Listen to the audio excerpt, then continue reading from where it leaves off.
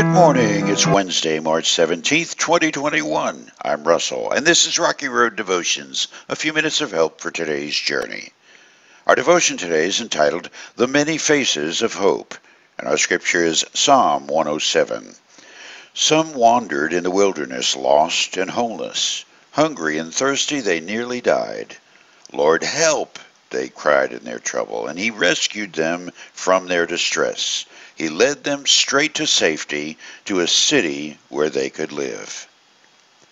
This psalm celebrates Israel's history, of course, but it's also a story told and retold throughout the generations of humanity. It's the story of distress and deliverance, rags to riches, dungeon to throne, love lost to reunion, blindness to sight, crippled to leaping, and in a thousand other themes. This is God's story of the bleak, impossible turned real, the ageless, magnificent story of hope and salvation. Monday of this week, the ultimate working out of this story made its way into my line of sight again. We buried a church member.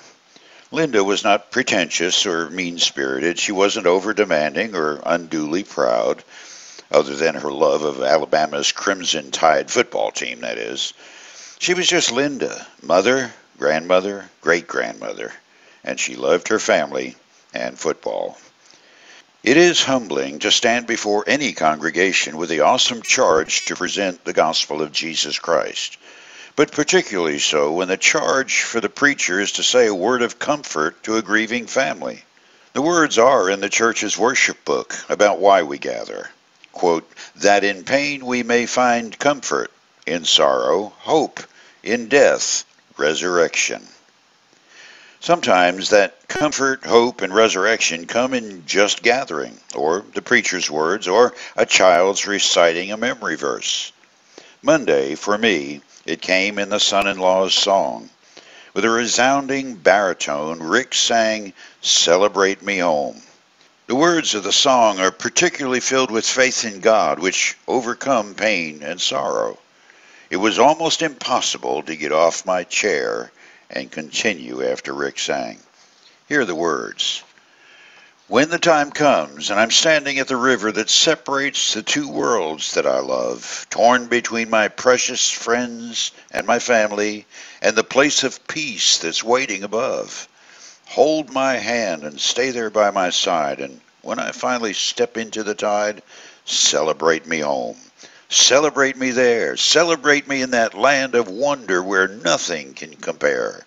Celebrate me in that place. Celebrate me saved by grace. Don't just sit and weep because I'm gone. Celebrate me home. I spent most of my life on earth preparing to take the trip from here to heaven's throne. With the shield and the word of God to guide me, it's a comfort knowing I'm not alone.